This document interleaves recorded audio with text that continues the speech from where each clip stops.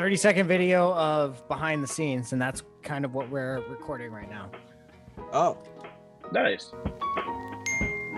30 seconds. Are we all saying 30 seconds? Yeah, 30 seconds. 30, 30 seconds. 30 seconds. 30 seconds. I'm lost here. I don't know what's happening, but 30 seconds. So it's a beanie meeting? Is that what we're doing? Hold on, let me switch up. Uh, that's what we're I've doing. actually, I've never like even worn this beanie. It's just never cold enough out here. That has not stopped many people in California.